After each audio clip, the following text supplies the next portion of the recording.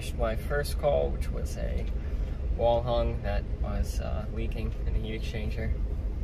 But I'm on my way now to a Weil McLain Ultra 3 that I was at uh, last week for a maintenance, a full cleaning.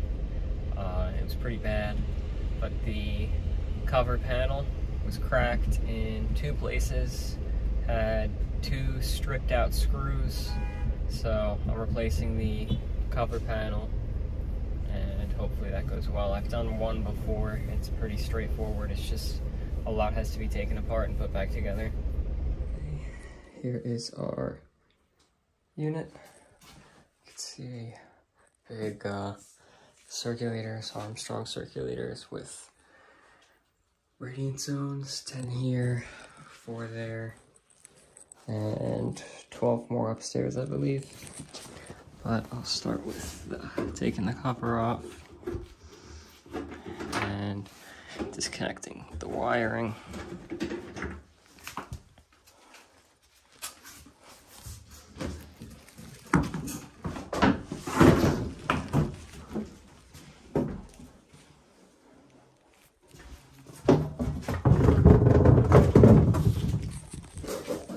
Side. And here is the unit. So I have to take all the wiring out so that I could pull it off. And uh, just put it here, reconnect the inducer to the new one, which is in the box. Here's our first crack. And up there, I don't know if you could see it, is the second crack. But this one was the bad one and see it, it's tapped with a different screw size right here. And one of the screws that goes in from the other side into here is completely stripped out and irreparable. So we'll get started, turn the gas off, disconnect the gas, and disconnect everything. And with all our wiring disconnected, and our gas is disconnected and off, I will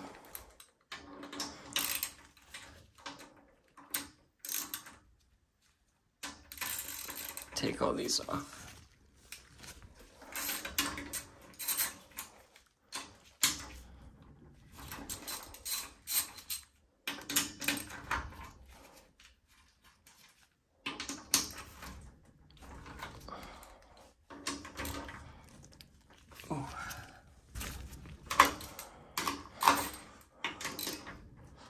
I'll just go around the whole thing and then pull the cover off. Okay, now I can pull it off.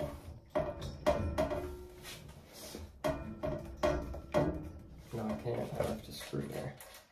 A bolt, a nut.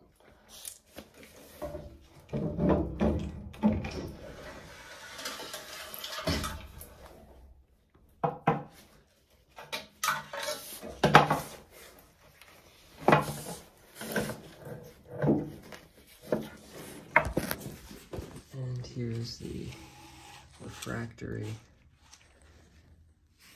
This is that stripped out screw, so it's not holding this on tightly. And here's our heat exchanger, which was just cleaned. And that is the best it could get.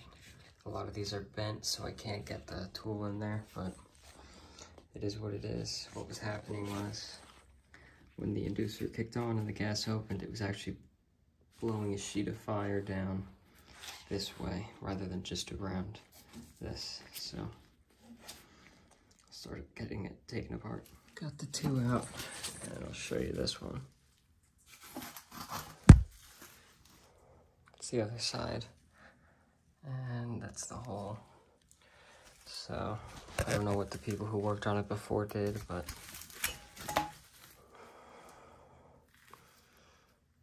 it's all beat up.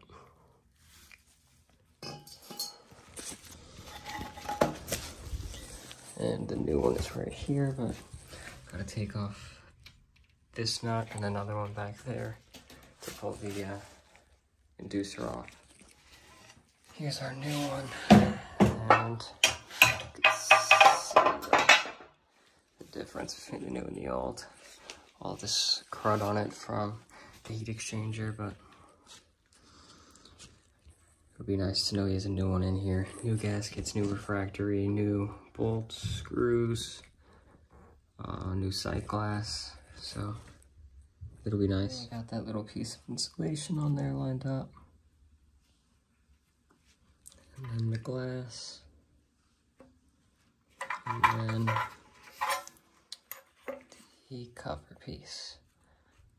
And I've got two hex head screws that I'll tighten slowly so I don't crack the glass. And that's on there. For the mesh, this piece goes over and this gets lined up so that the flat side is where the igniter is. And it has these bolts with these little locking flaps, so you flip it up so it prevents it from unthreading. Okay, those are bent up so they can't spin out at all and loosen. Tightened it with this little nut driver extension. It's uh, 9 30 seconds.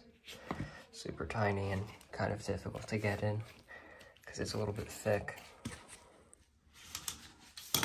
Now I'll get the inducer assembly on, which is just two screws and a gasket. Comes with two new locking nuts. I'll zoom in. These screws are very difficult and these bolts are very hard to get tightened. Nuts. I have to use my little Knipex. It's the only thing that'll fit. Because there is just no room there. Especially this one. Because it's in between a corner, two pieces of metal. I've got it on.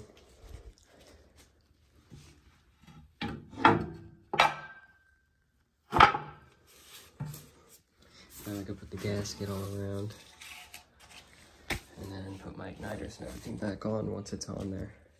Okay, it's on and in place. Got the igniter in with the gasket, and this is torqued, uh, following a torque sequence to make sure that you don't cause any cracking and that it sits flush. But uh, now I can hook everything up, and I'm going to do a combustion analysis because now this has been changed, the uh, gap there, it may burn differently and I'm here, might as well. Okay, and yes, you can see and hear it's running and running very quietly. Uh, got the testo set up, and then we'll do our combustion reading right where that temperature sensor is. Got it hooked up, and I gotta let it run for a while because it is gonna burn off some stuff, like oils and things and material, but should be good to go.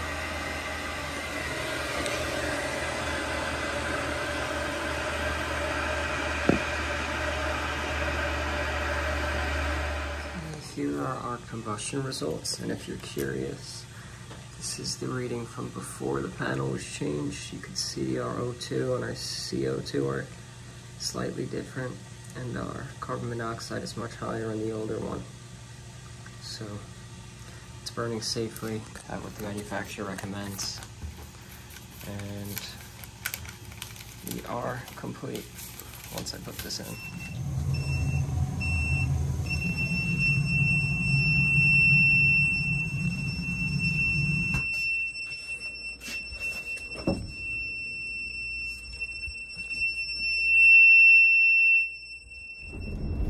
So that's going to be it for this video.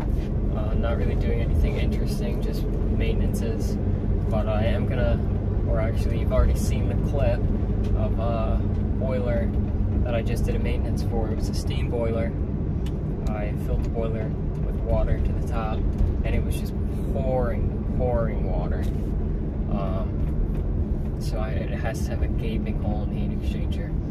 But uh, drained into the normal level and I fired it up within Broadway. seconds. My personal carbon monoxide detector was going up to uh, 1,600 particles per million of carbon monoxide.